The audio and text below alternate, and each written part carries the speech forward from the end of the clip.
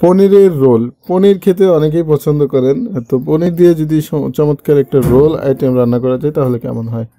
তো চলুন দেখে নেওয়া যাক কীভাবে পনিরের স্প্রিং রোল বানাতে হয়।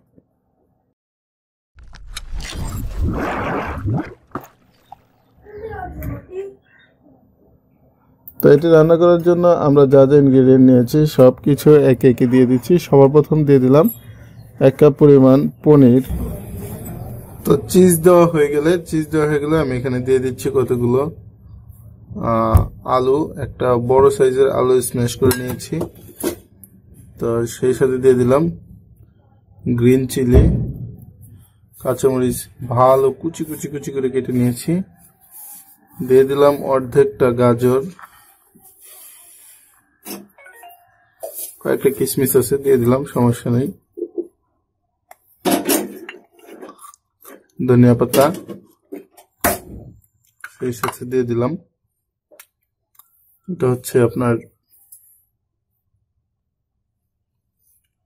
বেসন। বেসন এখানে আসলে কোনটা কতটুকু নিয়েছি নির্দিষ্ট করে বলার মতো না। আমি এখানে ইচ্ছা মতো সব কিছু নিয়েছি। আর এখানে আছে লবণ, ধনিয়া গুঁড়া এবং আছে লাল মরিচের গুঁড়া। এই তিনটা দিয়ে দিচ্ছি একসাথে। এক চিমটি কালো গোলমরিচের গুঁড়া দিয়ে দিলাম। ব্যাস, এখন এটাকে ভালোভাবে মেশাতে হবে।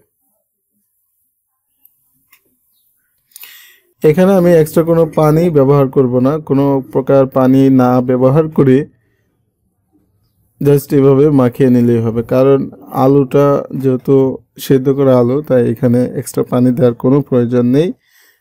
সবগুলো মশলাই এই আলুর সাথে খুব ভালোভাবে মেখে যাবে।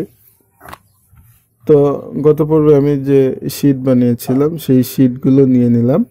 নিয়ে এভাবে রোল করে তারপরে আমি এগুলোকে সুন্দর করে পেঁচিয়ে নেব।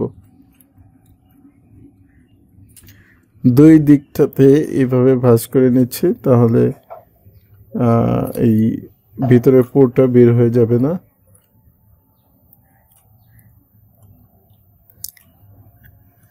এটা ভেরি ইজি সবাই পারবেন, এটা আসলে ব্যাখ্যা করার কোনো কিছু নেই, আপনারা দেখে বুঝে নেবেন যে আসলে আমি এটা কীভাবে করেছি। তো আমি এটাকে আটকে দেওয়ার জন্য আমি এখানে অল্প একটু ভেষণ ভিজিয়ে নিয়েছি।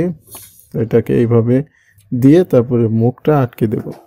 আপনি ইচ্ছে করলে এখানে এই বেসনের পরিবর্তে ময়দা ব্যবহার করতে পারেন। ময়দা নিয়ে তারপরে একটু মাখিয়ে, তারপরে এইভাবে মাখিয়ে দিলে, লাগিয়ে দিলে হয়ে যাবে। তো সবগুলো রোল বানানো হয়ে গিয়েছে আমার। এখন আমি এগুলোকে এইভাবে এইভাবে কোনাকুনি করে কেটে নেব, তাহলে দেখতে বেশ ভালোই লাগবে। এটাকে যেন কি বলে? আয়ত, ন। এটা হবে সামন্তরিক। হ্যাঁ ইয়েস সামন্তরিকের সাইজে কেটে নেব। এটা ত্রিভুজ হয়েছে তো আপনার নিজস্ব ইচ্ছা মতো যেভাবে খুশি সেভাবে কেটে নিতে পারেন। ইচ্ছা করলে এটাকে সোজা সোজা করে যদি কাটতাম তাহলে দেখতে বেশ ভালোই লাগতো।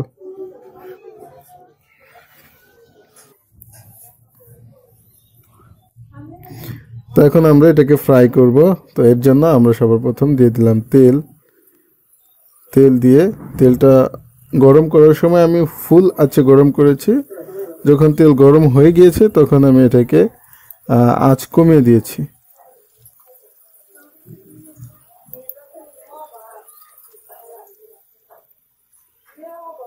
তো এখন আমাদের এটাকে বেশ ভালো করে ভেজে নিতে হবে। আমরা সাধারণত নিমকি যেভাবে ভাজি, তাতে একবার মুচমুচে হয়ে গেলে, লালচে লালচে হয়ে গেলে তখন আমরা এটাকে নামিয়ে নিই।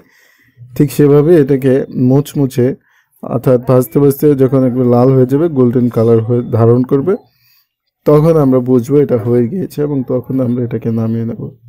তো দেখেন এখানে আমার দুইটা হয়ে গিয়েছে আগেই, তো এই দুইটা আমি নামিয়ে নিচ্ছি।